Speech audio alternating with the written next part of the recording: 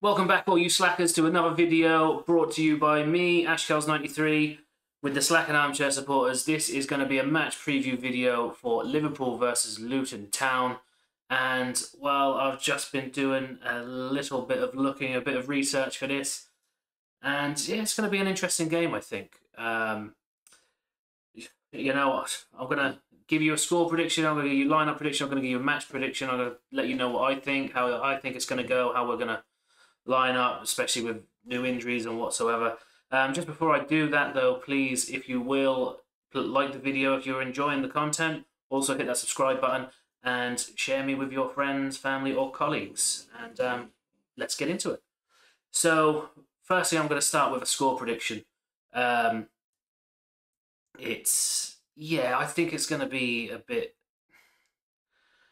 I don't know. Luton are a bit of a hit and miss sort of side. Um, I've just looked through their their like history. Their last few, their last nine games is what I've looked at, and they have three wins, three draws, and three losses. They are such a hit and miss team.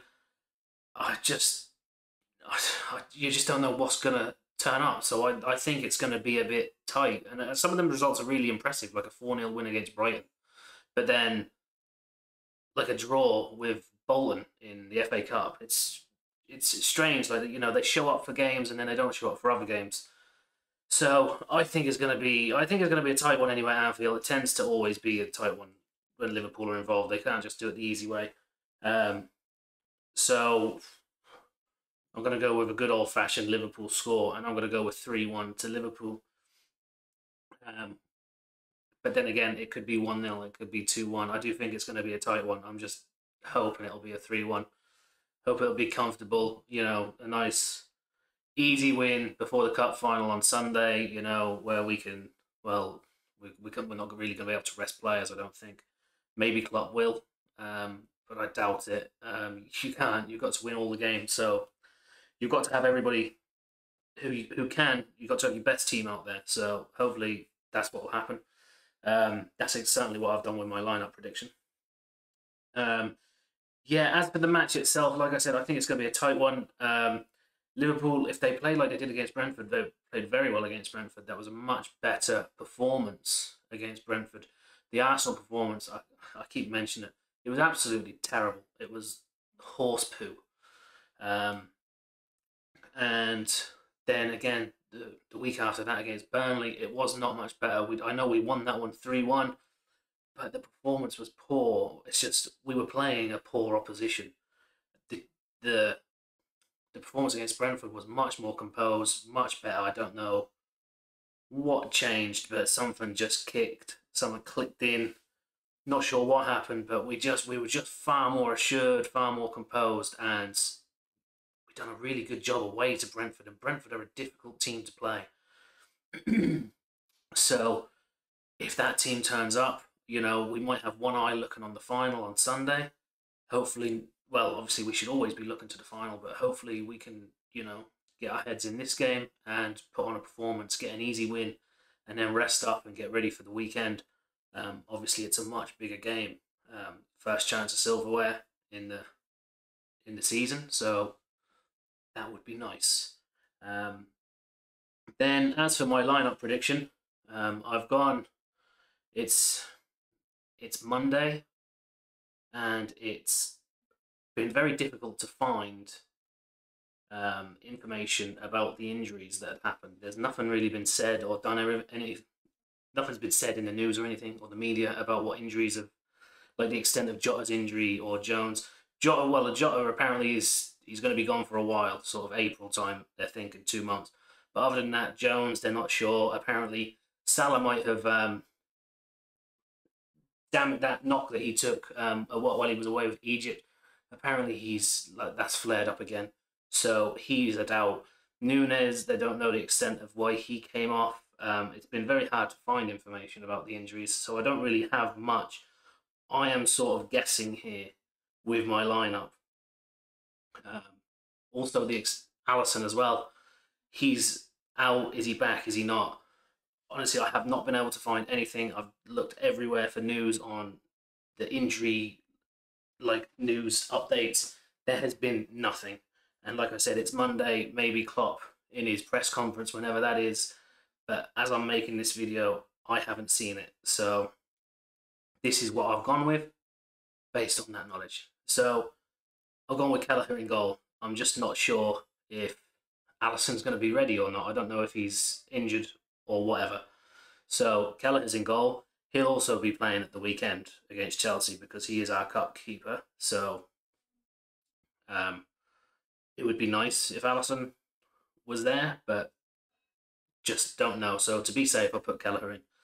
Then at left back, I've gone with Robertson. Now, again, if Klopp wants to rotate to rest a few players um, for the weekend, I can see Gomez being a left back.